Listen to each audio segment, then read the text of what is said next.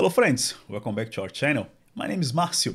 In this video, we're gonna do a deep dive on the Google Cloud Computing Engine. And what it is the computing engine? The answer is quite simple. The computing engine is the part of Google Cloud that allows us to create virtual machines or virtual computers. We can simply go to the console or use any other tool to create new computers or new instances that will serve our applications. For example, we can create a new instance to host a database or to host a new application or to do whatever we need to do to deploy a new workload for production. Managing instances and managing virtual machines with Google Cloud is quite easy. I'm gonna go now and deep dive on the console to show you guys a demo on how things work. Let's go. Just taking a look at the console here, I have set up my account previously and I created this project here, which is the YouTube demo project. So this is the project I'll be building all the stuff we'll be doing here. Google Cloud has this hyperlink here, which is a quick access to create a new VM. And you can also click here on the left-hand side on the menu and go to compute engine and find the VM instances option. So it's gonna click and then it's gonna open the computing engine homepage. There are lots of things happening here. There are so many options. I'm not gonna go in details in all of them, but I'm gonna give you guys the most common ones and the most useful ones for beginners so you guys can start exploring all of its capabilities. First of all, here is the first option, VM instances. So this is the list that will appear and that will capture all of our instances that will be running or stopped. After that, we have instance templates. Those templates, they are kind of a recipe on how new machines they should be configured. Let's say the amount of memory, the amount of disks, so after we create this configuration or create this recipe, we can simply create new machines based on that template. Next stop is the sole tenant nodes. Sometimes our applications or our workloads, they need to have some more isolation and they should not share the same hardware with other applications or other companies. So this is the option for that. We can also create machine images. We can simply create a new VM, do all the configuration we want, then we can close that image and then that image will be ready to be reused later on. Committed user discounts, we can buy in advance computing power and then Google will give us some discounts. And other important things here are disks. We can create new disks to serve our instances. We can take snapshots. We can have images as well. We can have instance groups and there are lots of other stuff going on here but they are not that important right now. So this is the basic stuff we, we have in here for creating and managing virtual machines. Now I'm gonna create a new virtual machine and then we'll start making our hands dirty and doing some cool stuff. Let's go. Let's just click here, go back to VM instances and let's create an instance. I'm gonna give this instance a new name. A cool thing here is that Google Cloud also gives us some estimations on the price. So for example, for this instance here, I should pay $28 per month if I leave it running 24 hours. Once you sign up for Google Cloud, we get around $300 for free, as you guys can see here on the on the top. And yeah, it's more than enough for us to test our stuff, to explore and do whatever we want to test the platform. Next step here is the region and the zone. So this is where the data center is physically located. So we can choose in which city or which region we want to create that virtual machine. I'm just gonna leave it here on the default. It's gonna be Las Vegas, US West 4, and the zone US West 4B. We can also choose the purpose of that machine. For example, here we have a general purpose machine. So this will give us lots of options here on the kind of CPU we can pick. And these virtual machines here, they are, as the name says, for general purpose.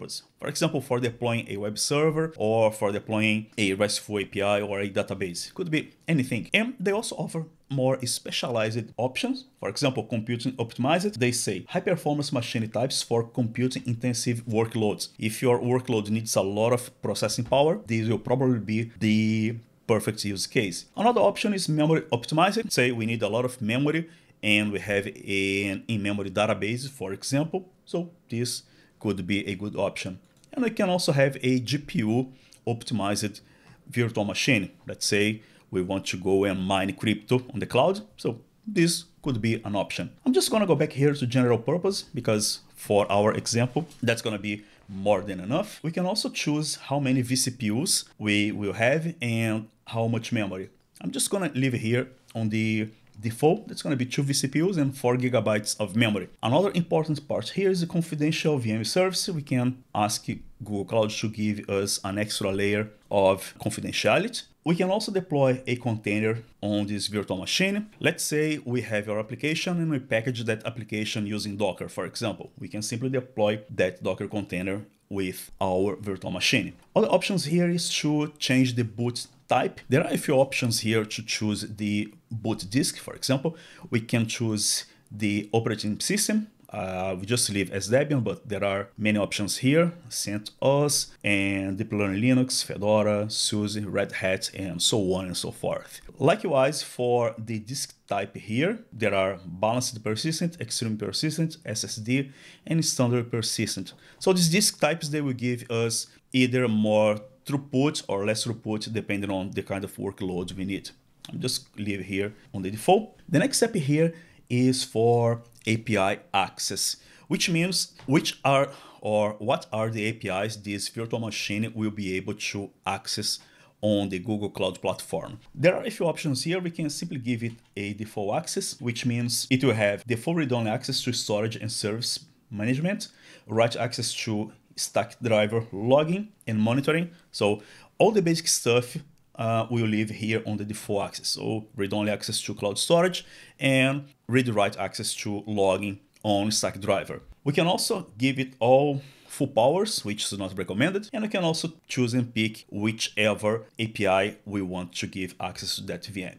In this case, I'm just gonna leave it as default. And next step here is firewall. I'm gonna allow traffic so HTTP and HTTPS for our virtual machine. And last here is advanced options. There are lots of options here, which I'm not gonna go in, and we can try to create a new instance here, but it's gonna tell us there is an issue. And this is something that they just changed in the console. They ask us to change the on-host maintenance which the default was to simply terminate the instance, but that's not good because if you have something running there, they want to do some maintenance on that physical host, so our application or our workload would be simply vanish. The idea here is to migrate to another VM instance. So whenever they want to do some maintenance, they simply migrate our workload to another instance and then they do whatever they need to do in there. And that's all we need. We can simply now hit the create button and it's gonna take a little while to create this new instance. I'm gonna see you guys whenever it's ready. Okay, it is ready now.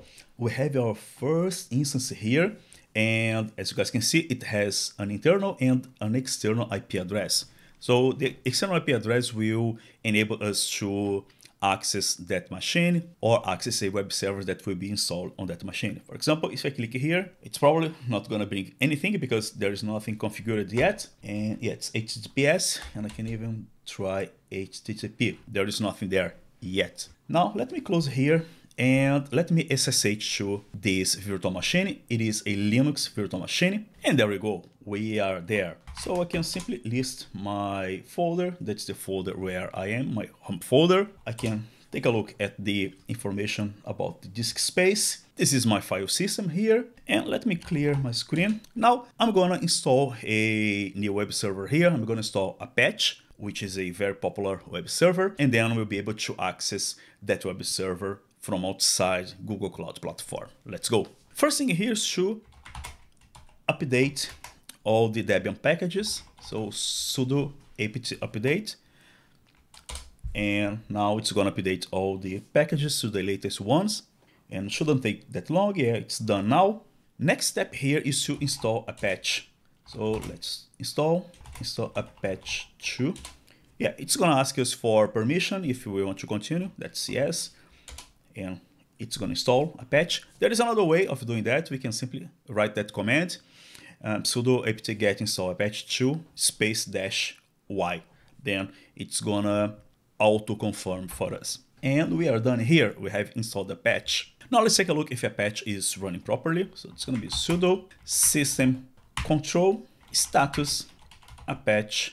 And yeah, it's gonna tell us that it is running and Apache is enabled. So it should be good now. Let's try again accessing here the web server via the IP address. It should, yeah, it should complain about the HTTPS, but if you go via HTTP, there we go, we have Apache installed there. As you guys can see, it is quite simple and quite easy to create a new virtual machine and even SSH to that virtual machine via the Google Cloud Console as I have just done here and we simply have a session for that virtual machine. It's totally secure, it is safe because it goes via our credentials because we are logged in to the console and it knows who we are and all the access we have. Let me clear here, we can do many other things, we can install other stuff. For example, uh, it has Python here, if I'm not mistaken, Python 3. We can also install Golang or any other tool that we want, or even install MySQL